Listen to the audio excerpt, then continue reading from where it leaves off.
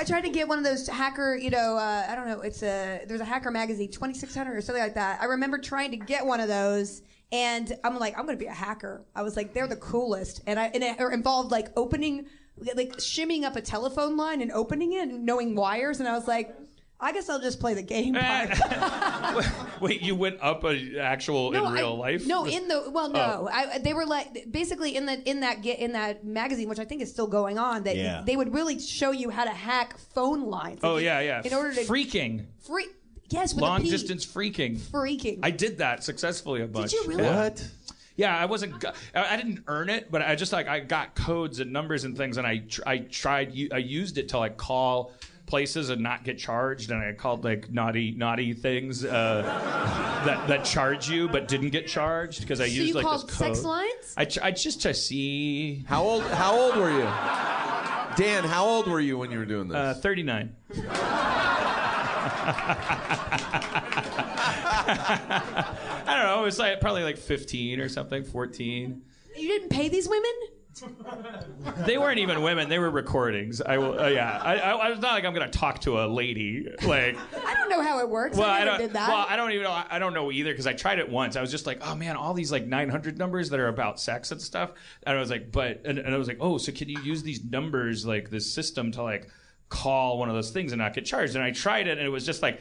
You, very quickly found out that it was just, you know, it's just garbage. Like they're just trying to trick people into paying for what is like a big long message. You know, hang out. Well, if you want some hot juicy action, why don't you press three? And I'm like, okay, I'll take it hot juicy. And then like, and, and it was just like like like recordings after a while. It was just like a woman, like it was like a recording of a woman going like, uh, late at night, I like to wear my bathrobe, and I hope my man comes home and gives it to me. Oh, oh, like like it was just and it was just like a shitty recording. Like it was all like. it's still pretty hot. You figured it out because Yeah. I abandoned it the minute I bought one. Well, and then I never did it again. I was like, okay, there's that, and uh, who am I going to call in Hong Kong? Like, uh, like really.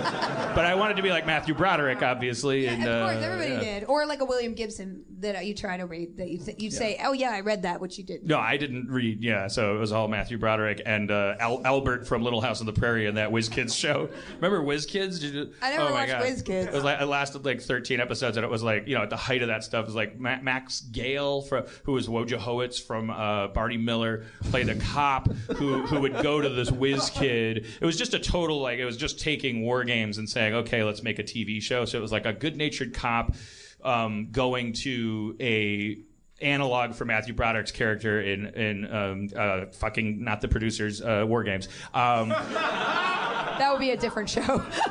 and there was like a cute there was a cute Ally Sheedy type that was like his tomboy kind of like hoodie hoodie wearing uh, girl, fr- fr- friend friend uh, platonic friend. Yes. Um, his- Until the time where she put a dress on, and he was like, Whoa! Wait, wait, I mean, what do you mean I have to wear a dress and, and let my hair down in order to get this Damn microchip uh, from the dance? Um, yeah, they- they would- and they would like he would he would he would hack he would hack his refrigerator. Like like they show they would show him. This is how magical people computers where They, like they would show him like typing in his bedroom, and then in the kitchen. His refrigerator would open, and his mom would go, "Oh!" and he'd go, "Sorry, mom."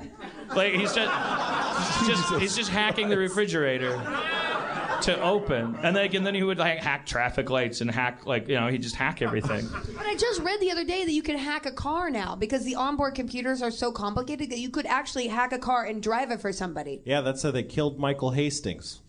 What? Yep. The government killed Michael Hastings because he got too close to the truth.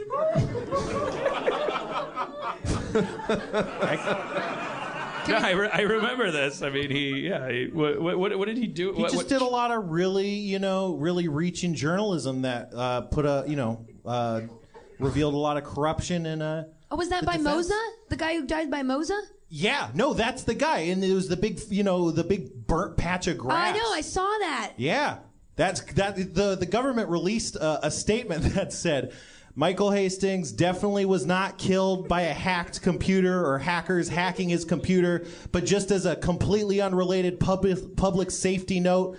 If you were hacked, if your computer is hacked and you are killed, it would look exactly like this. I would reiterate that it is completely. They actually said something along those lines. It's like this is what it would look like if your car was hacked. It would explode like this. It didn't happen. There'd be no way to know if it happened, but we know it didn't happen. So it's just like the most weird, the most suspicious thing anyone could If do. you're out there and you're close to the truth, maybe get a little further from it. That's all we're saying. Yeah. Uh, this guy got, got too close to a telephone pole. You stay away from the truth. Stay away from your refrigerator because somebody might be able to hack it.